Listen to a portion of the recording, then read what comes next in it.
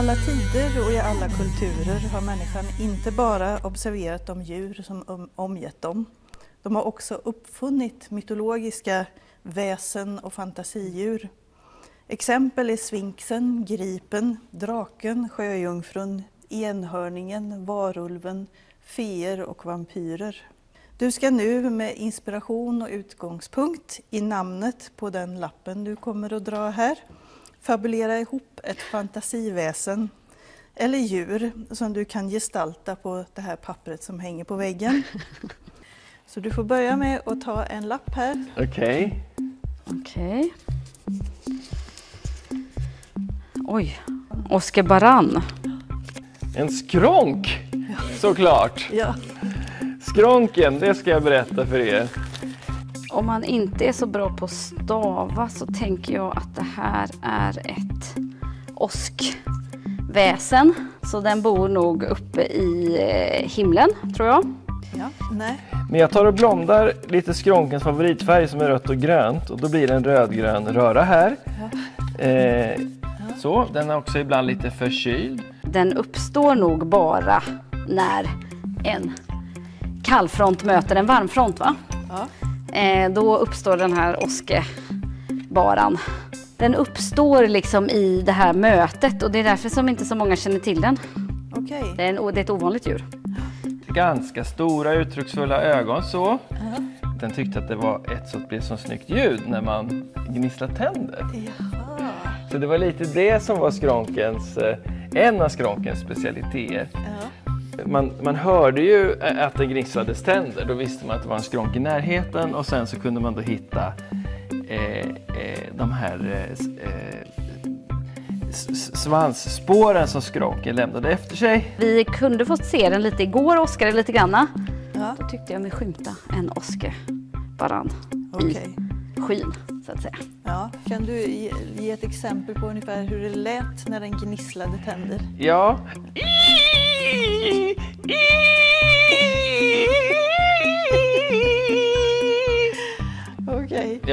Ja, ja. Eh, den eh, gav ifrån sig det lätet. Eh, och, och, men det gjorde att den också fick mycket kompisar. Det var ju många andra farligare djur som inte stod ut med att vara i närheten av det här ljudet. Så andra lite mer skyddslösa djur, de trivdes i skronkens eh, sällskap helt enkelt. Sen lidade skronken också att läsa böcker.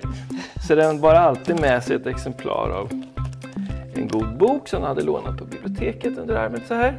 Den laddas av partiklar. Man kan tänka sig lite som eh, Pikachu ja. i eh, Pokémon eller som Hattifnattarna. Ja. Fast det är ju då ett helt eget djur så det är ju inget av detta. Men det är ändå, jag kan tänka mig att de figurerna har blivit kanske inspirerade av den här. Ja, ja. Eh, det fina var också med den att den då eh, hade begåvats med eh, lite änglavingar också. Oh. Ja.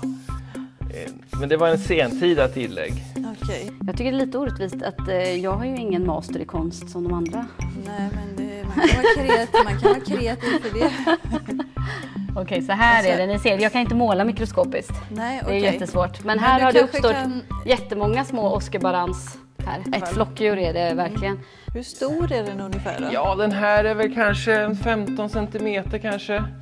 På så. sin höjd. Ja, okej. Okay. Ja. Så inte så stor Nej, egentligen. inte så stor. Nej. Gronken är ju en ensam sorts ensamvarg. Ja. Inte att den är släkt med vargarna på något sätt, alltså, kan man inte säga. Den gillar ändå att vara lite ensam med sin bok. Och, men den har inte behov av andra skronkars sällskap. Och det har att göra med att skronkar är egentligen ganska tråkiga. Jaha. Ja. Okay. Så man kan inte riktigt bestämma deras plats och eh, hastighet samtidigt.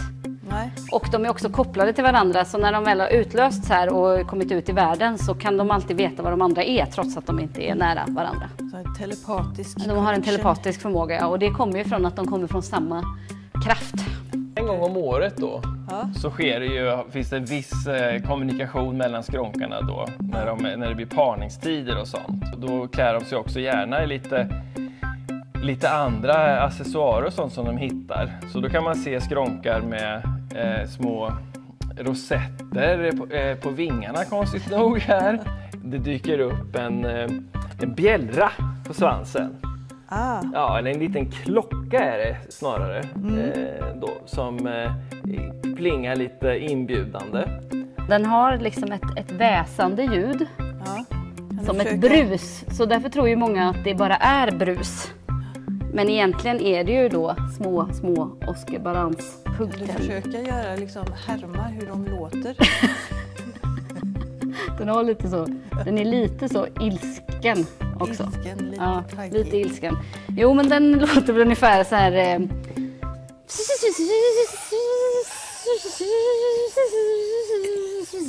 Så ungefär så låter den. Mm. Skronkbarnen har Ja. ingen päls när de föds. Och blinda och sånt ju. Ja, Eh, men de blir direkt utslängda. okej. För, ja, men för att ingen skronk står ut med en annan skronk. Och, och det är därför de också har utvecklat den här eh, egenskapen att de är duktiga på att läsa då. För att de måste ha någonting att fördriva tiden med. När de är små, det är ju godnattsagor. Ja. Och när det har skett ett sånt här liksom, stort åskväder, då kan de sprida sig över väldigt stora liksom, arealer. Eh, och hade de påverkat dem, de har ju inte jättestor påverkan på andra liksom, djur och växter och så. Men hade de haft det så hade de ju nog varit en invasiv art tror jag. För Okej. att de, de har så stor spridning. En svaghet som den har, det är att den eh, inte gillar läskiga böcker. Nej. Nej, utan gärna eh, läser biografier och sånt. Har ett sånt intresse, ja. Men inte, inte så att det kan bli rätt, rätt så lättskrämd ändå.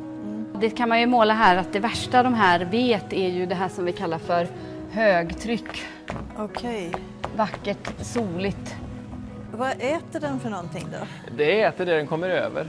Allätare? Chips, eh, sånt som är vet, vid stränder går den gärna plocka lite. Ja. Smågodis. Ja. Ja. En och annan eh, eh, ett, lite jordgubbar om det är, säsong för det. Då. Ja. Så. Sen har det visat sig också att man kan hitta dem i småbarnsfamiljer. Jaha. Ja.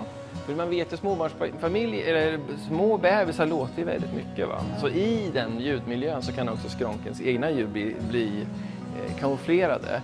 Och det fina är också att det kommer rätt mycket ner på golvet från när småbarn äter. Och där kan också skronken trivas och plocka lite. Det är mycket gott som kan dyka upp. Det är små majskorn. Jo, men eh, i, i liksom väldigt så eh, ovanliga fall, men när det verkligen behövs, då kan de här Oscarbalansen gå ihop och sen så skapar det ett åskväder. De rör sig ju liksom, de är ju pytt, pyttesmå, så de är ju som, man kan säga som en luftens plankton. Att de flyger ju med liksom vindar och, eh, men inte ens vindar för de är ju så små så de kan ju flyga bara med minsta lilla lufttrycksskillnad så flyttar de sig. Liksom. Och sen är det väl ändå en liten krabat som är ganska nöjd med för det mesta med tillvaron och så. Så, så, så att, eh, det finns ingen anledning för skronken att heller hålla på och liksom ställa till bråk.